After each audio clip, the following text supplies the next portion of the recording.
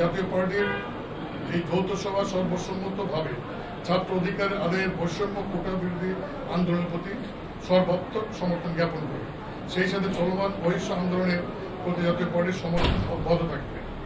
আপনারা জানেন যে কোটা বিরোধী বিশেষ কোটা সংস্কার আন্দোলনে যে সমস্ত ভাইয়েরা শহীদ হয়েছে, মৃত্যুবরণ করেছেন তাদের আত্মার প্রতি শ্রদ্ধা জ্ঞাপন করি এবং যারা নির্যাতনের শিকার হয়েছেন, পালিয়ে আছেন, জেলে আছেন, তাদের প্রতি আমাদের সহমর্মিতা দলের পক্ষ থেকে প্রকাশ করছি এবং তাদের দাবির সাথে একতা ঘোষণা করছি এবং আমাদের চেয়ারম্যান এর পূর্বেই ছাত্রদের যে আন্দোলন বিশেষ কোটা বিরোধী আন্দোলন, সেই আন্দোলন তিনি সমর্থন দিয়েছিলেন যে যারা নাকি কোটা সংস্কার করে আন্দোলন করছে তারা কিন্তু একটা কথা বলেছে তারা এটা পলিটিক্যালাইজ চান তারা চান না যে পলিটিক্যাল পার্টি তাদের সমর্থন মাঠে যায় কিন্তু তারা সমর্থন চান যে সমর্থন আমাদের চেয়ারম্যান শুরু থেকে দিয়ে আসছেন শুধু শুরু থেকে না পার্লামেন্টে ইয়ে, মানে শেষ হয় সেদিন কিন্তু আমাদের চেয়ারম্যান এই কোটা বিরোধী কোটা সংস্কারের